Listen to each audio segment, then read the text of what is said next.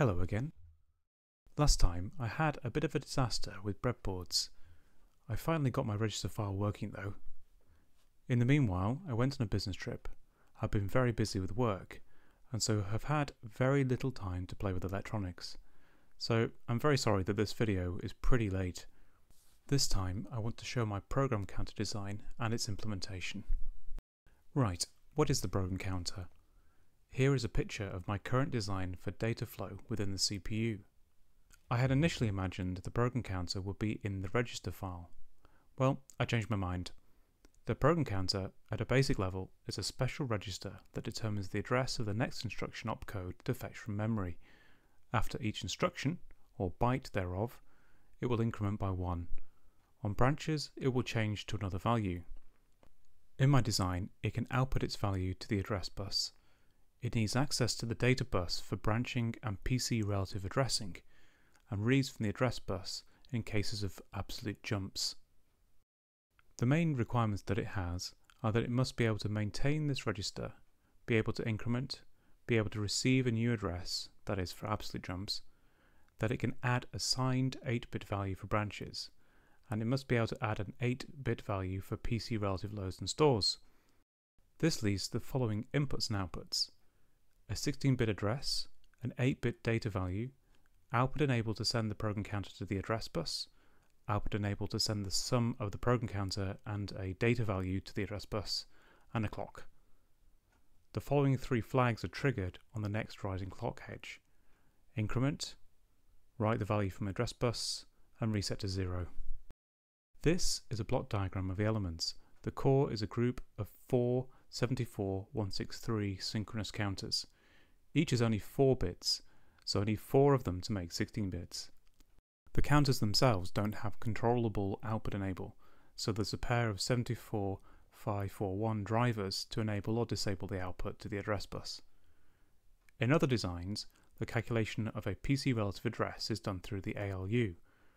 My colleague often tells me, a little copying is better than the wrong abstraction. In this regard, it's simpler, that is, less wiring, to include a separate adder here. It's an adder that sums a 16-bit and a signed 8-bit value. In reality, this is an 8-bit adder and an 8-bit incrementer decrementer. More on this in a moment. These are the connections that are active when reading and incrementing. The driver is active. The adder is still fed with the current PC value and whatever is on the address, but its output is ignored. Likewise, this is when writing a value. The only instruction in my instruction set architecture so far that can do this is a return from subroutine. The new value for the PC is taken from the address bus. When adding and reading, the adder's output is enabled. This is used when performing a PC relative load or store. We don't want to update the PC after this instruction. Where we do want to update the PC is when branching. The address bus is used as a convenient connection from the adder to the counter to write a new value. I've updated my schematics to include the program counter.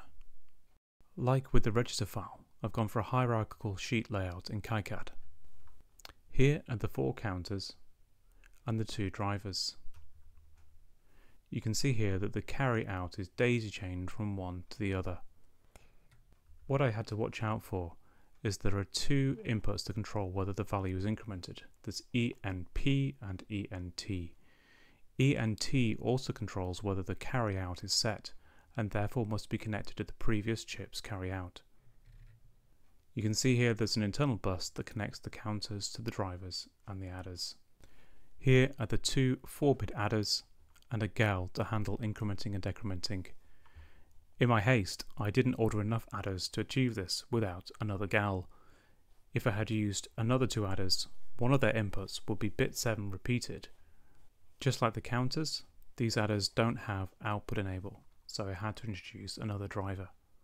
Finally, there are some pull up and pull down resistors. I pull the active low logic up so that the outputs are disabled as the board boots, and if I disconnect my Raspberry Pi Pico. So what about this programmable logic needed to do the increment and decrement?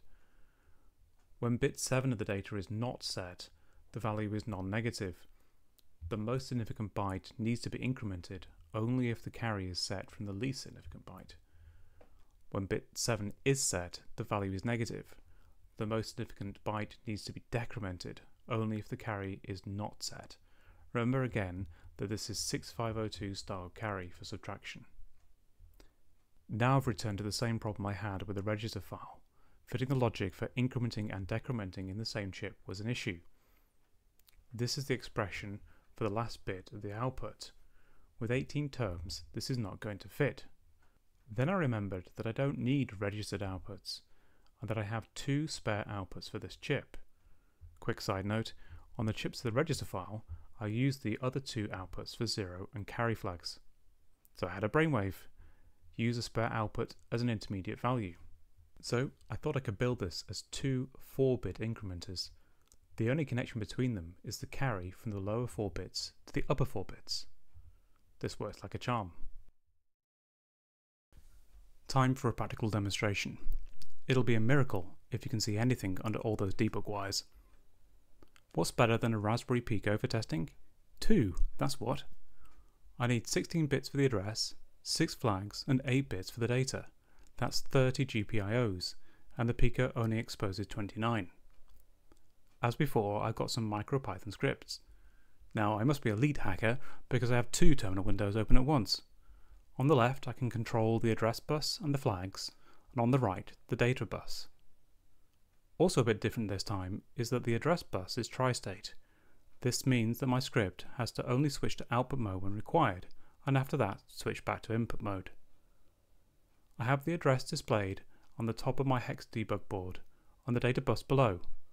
I've also got the flags wired up. To start off, let's set the PC to a value of hex 1234. The Pico will output an address, set the load active, and perform a clock cycle. Now let's read it.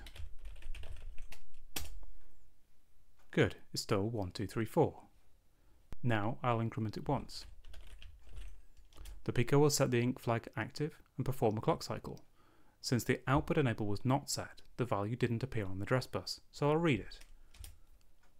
Good, it's hex 1235. Let's test the ripple carry between nibbles.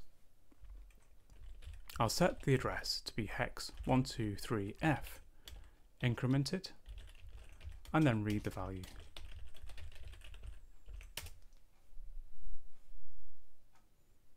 Good, is 1240. I'll repeat the process, but this time with 12FF. Good, the value is 1300. And finally with 1FFF.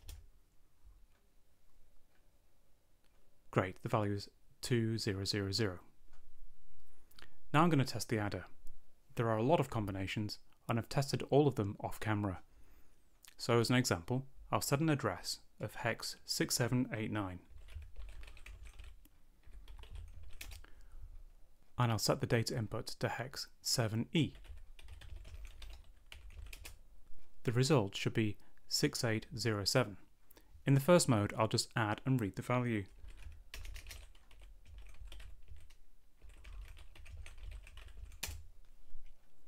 Great, that's the right answer.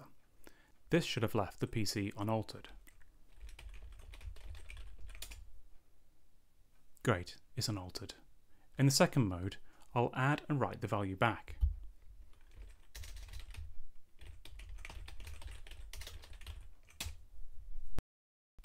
After it's done that, reading shows 6807. Great. Let's try subtracting. I'll set the data to be F0. That will subtract 16 from the address. Let's perform the operation. Great, it's 67F7. Finally, I'll reset to 0, which is how the CPU should start up when booting. Reading the value gives 0. That's great. Okay, that just about does it for this one. Despite having had very little time, I've got this board working.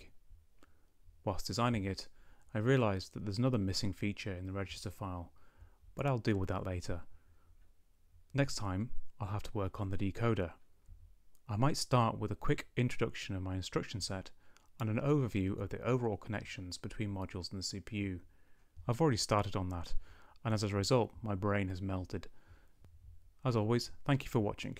I am pleased that at least some people find it entertaining enough. Bye for now.